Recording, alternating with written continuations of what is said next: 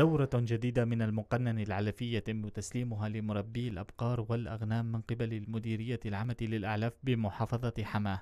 الدورة العلفية هذه تشهد زيادة في المخصصات لكل رأس، لكنها في الوقت ذاته ترتفع أسعارها على المربين عما كانت عليه في الدورات السابقة. نحن عمليا مقنن الأغنام تم رفع المقنن من 6 كيلو ل 10 كيلو انخالي وللأبقار عندنا 100 كيلو جاهز حلوب بالإضافة إلى 50 كيلو انخالي هلا جينا نحن بشكل دوري في عندنا معايرات للقبان وعم يصير عندنا أحيانا شوية مشاكل ارتفاع درجة الحرارة حاليا. عم نضطر نوقف الأبان لفترات محدودة. بيجي المربي على هويته في عندنا حيازة في إحصائية له بيشوف لها رئيس المركز.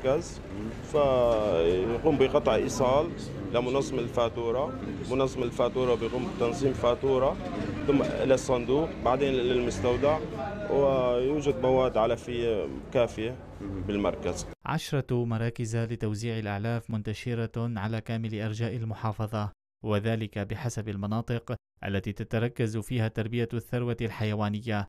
لكن المربين يعانون من قلة الدعم الحكومي وارتفاع أسعار الأعلاف التي تكاد تساوي أسعارها في السوق السوداء مطالبين بزيادة الاهتمام ودعمهم لزيادة أعداد الثروة الحيوانية ورفدها للسوق المحلية. آلية التوزيع بتتم بشهر ال 11 بتم إحصاء بكل إرشادية بتطلع الإرشادية بتحصى الأهل عند الأهالي والمربين وعلى الأساس هذا بيوزعوا العلف بس بنشكي نحن إنه العلف غالي. والله الاستلام نجي بنقطع الوصل بنستلم ناخذ هالعلفات للنعجات المعاملة يعني تمام ماشي الحال.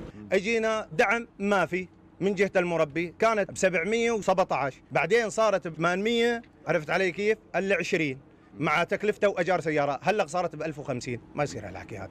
حال تربية الثروة الحيوانية كحال باقي القطاعات الأخرى في المحافظة التي تعاني من صعوبات عدة نتيجة الظروف الصعبة التي تمر بها البلاد، لكنها تحتاج إلى دعم أكثر مما هي عليه لتكون الداعم الأساسي للاقتصاد الوطني حسب ما يقول المربون.